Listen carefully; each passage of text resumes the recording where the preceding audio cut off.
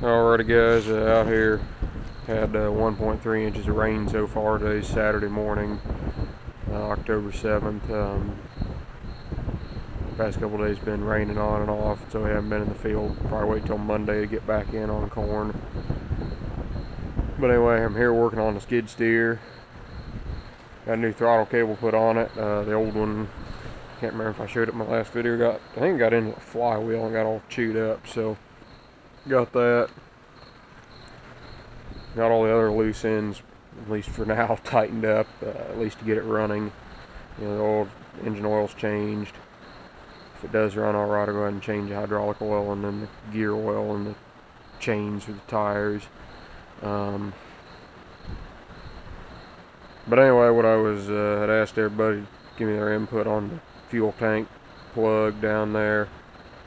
Uh, a couple guys said plastic welder. I would have, but I didn't really want to pull the fuel tank up out of there. I wanted something I could do in place. Um, uh, some other guys said some other type of adhesives, but uh, ones I like the best, uh, Burning Dinosaurs mentioned it, and uh, Old Farmer, and Chuck Stevenson also said it.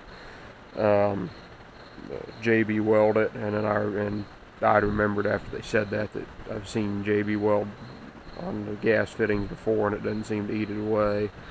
So that's what I did. I would have gone to a larger size fitting, but it's such a thin wall tank, and it uh, being a plastic tank, and there wasn't room to go to a bigger fitting where it's sitting down there. So had to use what I had, but I put a, a 24 hour uh, longer drying JB weld on it, and excuse my royal mess here put that on and then uh, what I ended up doing for the fuel pump the Napa one I got Napa didn't end up being right and so I guess these engines are kind of hard to get parts for because they're they're little industrial ones they got stuff different on them than the cars but anyway uh, I ended up going with just a universal electric pump. We've got four or five of these on various pieces of equipment around the farm. They work really good and they last a long time. Uh, little Facet uh, Posi Flow is what it's called. This one's a 4 to 7 psi. They also make a 1 to 4 psi.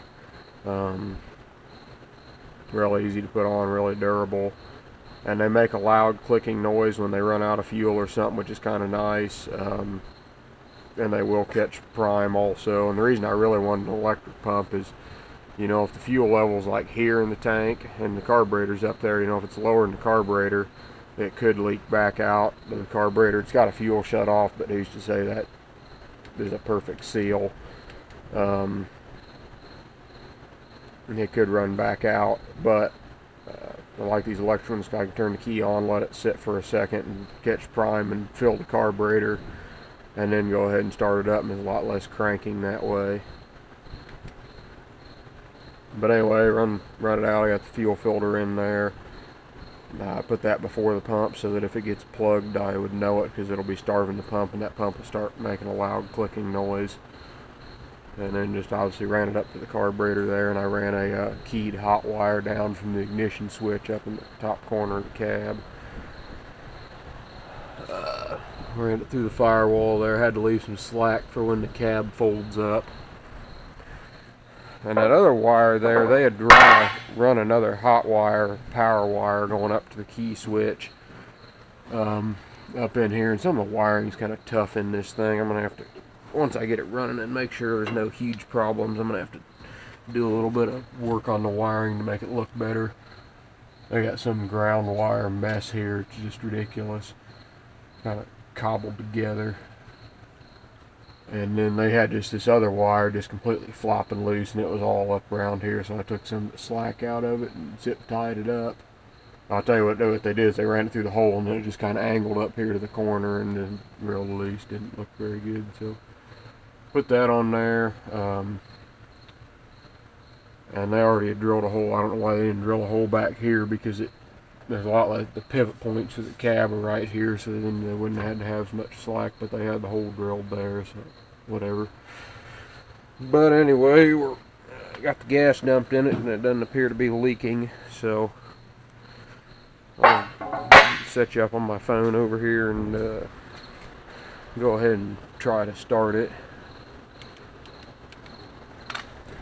See if the fuel pump will catch prime here first, make sure I don't have any leaks. You can hear it clicking there. And there it picked up fuel pressure.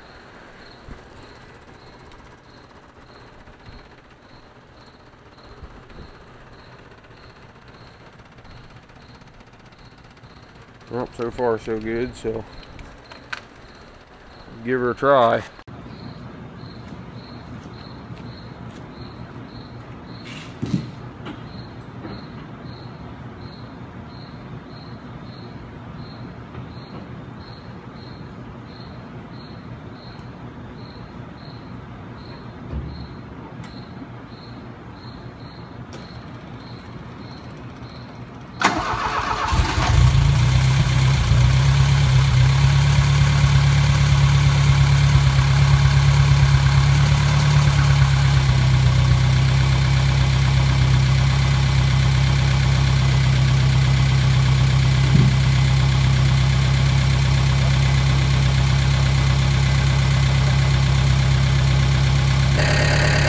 Well, that was just too easy. That thing, no choke or nothing. It just took right off, purring like a kitten.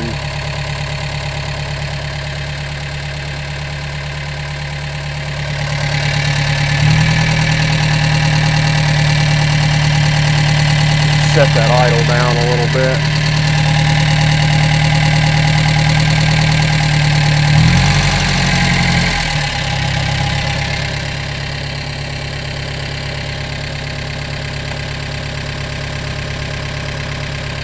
More more gas for that thing You're running great.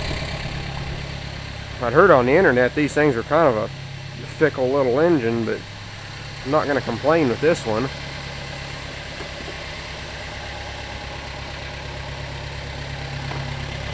All the lights did work up here. Uh, seatbelt light I'm not sure about with the battery and the, that so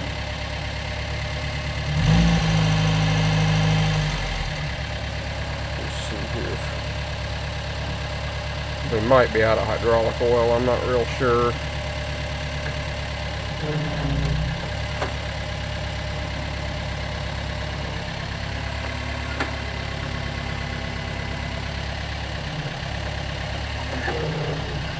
Yeah, I think it's going to need some hydraulic oil.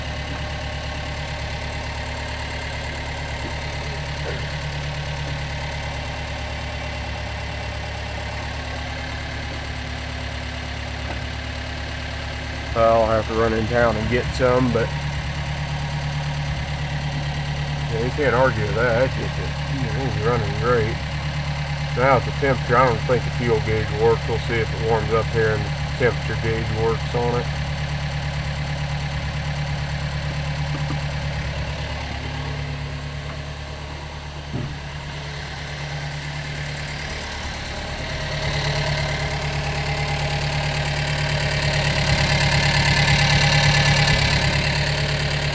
Might need a little adjustment on the carburetor. But anyway, we'll come back to you here and get it moving. Alrighty guys, out here running it. Runs real good. It'll spin the tires and everything and it'll pick the back end up off the ground. The, the hydraulic side of things are real good. I do have a little bit of a hydraulic leak, but I'm not sure where it's coming from yet. Someplace under the motor, but get that or the I don't know if the oil cooler is leaking on it or what we'll get that figured out but um, just moving some rocks around no point in what I'm doing here just having fun with it. But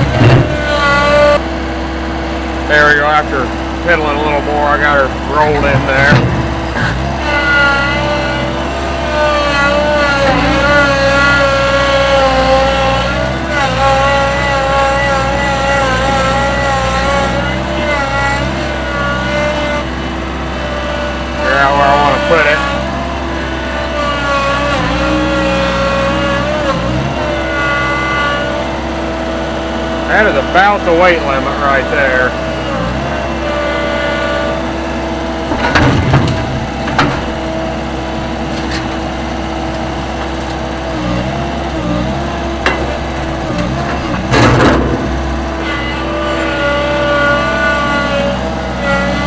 starting to roll forward on me there, but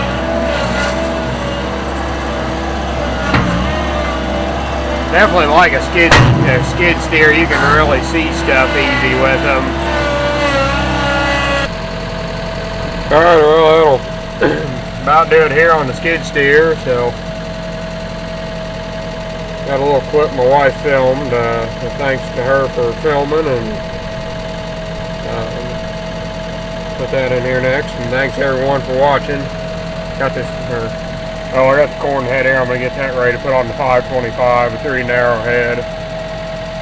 Come off that one I had sitting around back, so that's what I'm going to do with it. Thanks for watching.